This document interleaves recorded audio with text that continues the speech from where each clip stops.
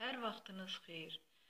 Mən Ucar rayon Mərkəzi Kitabxana sisteminin 13 saylı filial Xələskən kitabxanasının müdiri Güldəstə Rəfiyeva.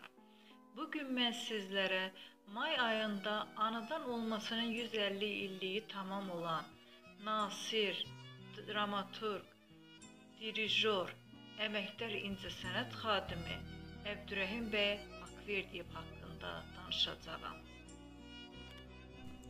Əbdürrəhim bəy Haqverdiyev 1870-ci il may ayının 17-sində Qarabağ mahalının Şuşa şəhəri yaxınlığındakı Ağbulaq kəndində dünyaya göz açır. O ibtidai təhsili 1880-ci ildə Şuşada Yusif bəy Müvəqqəti Yay məktəbində, sonra Şuşa Realni məktəbində alıb. Əbdürrəhim bəy Haqverdiyev ədəbi fəaliyyətə Şuşa Realni məktəbində oxuduğu zaman başlayıb.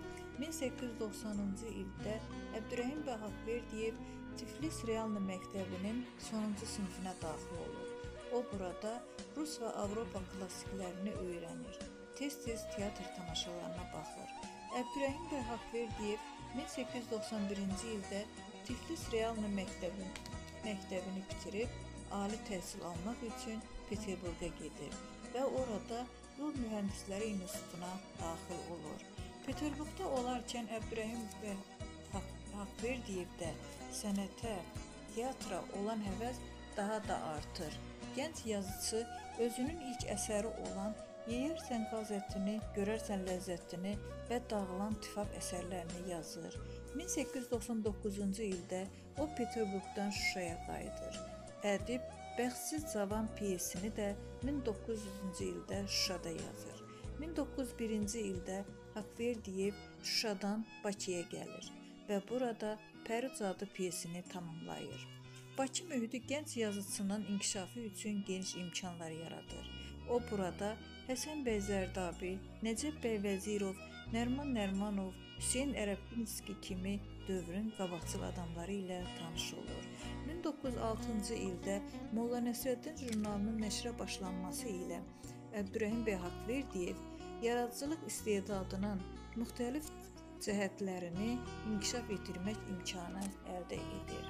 Molla Nəsrəddin jurnalında çap olunan Cəhənnəm məktubları, Bomba, Mozalan bəyin səyahətnaməsi və Marallarım adı altında gedən hekayələrdə ədib dövrün bir sıra mühüm məsələlərinin bədii həllini vermişdir. Əbdürrəhim bəy Haqverdiyevin hekayələri böyük ümumiləşdirmə qüvvəsinə malikdir. Ədibin Bomba hekayəsində Kərbəlayı Zal 25 il polis qulluğunda çalışır və pensiya alıb rahat dolanmaq ümidi ilə yaşayır. Amma işlər öz qaydası ilə getmir. O bomba əvəzinə qarpız tapır və Kərbəlayı Zalı işdən kənar edirlər. Şəbih hekayəsində cəmaətin avamlığından məharətlə istifadə edən fırıldaqçı din adamları şəbih çıxardır və ciblərini doldururlar.